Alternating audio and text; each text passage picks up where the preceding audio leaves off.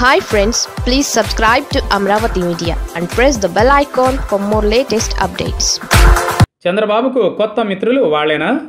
చంద్రబాబు రాజకీయమంతా పొత్తులు ఎత్తులతోనే గడిచింది. దీన్ని చెప్పడానికి పెద్దగా రాజకీయ అనుభవం కానీ విశ్లేషణ కానీ అవసరం లేదు. చంద్రబాబు తన మొత్తం రాజకీయ జీవితంలో తొలిసారిగా రెండు వేల పంతొమ్మిది ఎన్నికల్లో ఏ పార్టీతోనూ పొత్తు లేకుండా జనం తీర్పు కోరారు. ఆ ఎన్నికల్లో టీడీపీకి ఇరవై మూడు సీట్లు మాత్రమే లభించాయి. ఇప్పుడు అటువంటి సాహసం మళ్ళీ చేయాలని చంద్రబాబు అనుకోవడం లేదు. టీడీపీ తమ్ముళ్ళు కూడా అందుకు ఒప్పుకోవడం లేదు. అయితే ఏపీలో చంద్రబాబుకు మిత్రులు ఎవరు అంటే ఇప్పటికైతే బీజేపీ దూరమైంది. అసలు ఆ పార్టీ చంద్రబాబుతో కలిసి ముందుకు సాగాలనుకోవడం లేదు. బీజేపీ తాను మాత్రమే కాదు చంద్రబాబుకు మంచి మిత్రుడిగా ఉన్న పవన్ కళ్యాణ్ని లాగేసింది. పవన్ జనసేన బీజేపీ రెండు వేల ఇరవై నాలుగు ఎన్నికల్లో ఒక కూటమిగా పోటీ చేయడం ఖాయమైంది.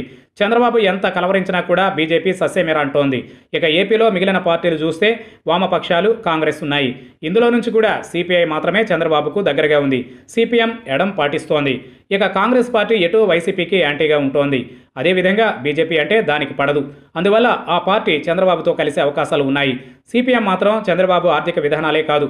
ఐదేళ్ళ పాటు ఆయన పాలన సైతం దారుణమంటూ నిప్పులు జరుగుతోంది. దాంతో ఆ ఎర్రనలు దూరంగానే ఉంటారు.